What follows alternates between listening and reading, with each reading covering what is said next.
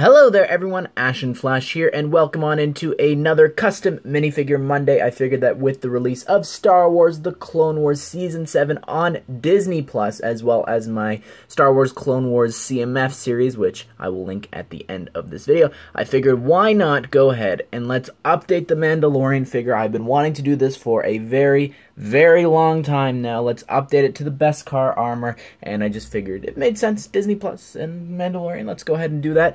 And I'm going to go through all the parts and different things that I use for this figure, but uh, just a heads up, spoilers for The Mandalorian if you haven't seen it, I guess, not really a spoiler, but uh, anyways, let's go ahead and let's get started. So, of course, the helmet itself is the Mandalorian's from the only set right now that you can get the Mando in, but he will be coming in the Razor Crest the cape piece, however, is black because I think it's more accurate, and the cape piece is from the Mandalorian Battle Pack.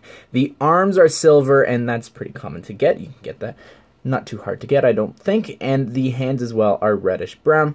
The legs are the Mandalorians, and the torso is probably the hardest part to get. And that is Django Fett's. And it has been a little bit of years since we've gotten Django Fett but I just think that it looks the best out of any Mandalorian chess piece that we have, and it just works really well for the Beskar armor.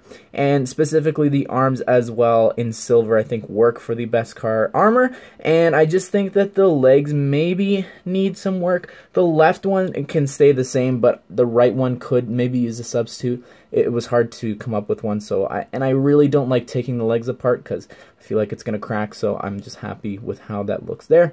And the belt piece is Catman using the Lego Batman movies utility belt piece in reddish brown, and that's pretty common. That was from the CMF series, and honestly, I'm sure that thing is just super cheap. It's not hard to get. He's not a very sought after character.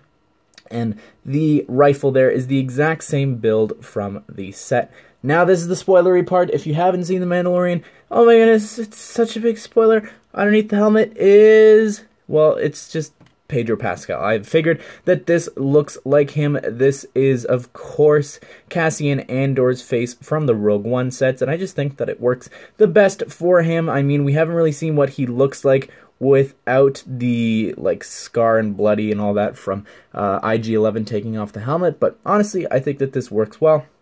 But uh, anyways, everyone, that is my custom Mandalorian Beskar armor upgrade. What do you think of it? Let me know down below in the comment sections if you have any suggestions, ideas for arms, legs, head, whatever, all of the above. Guys, I hope that you did enjoy the video. Check out the Star Wars CMF series linked at the end here, and I hope that you did enjoy this, and I hope that you all have a great day. I will see you all in the next one.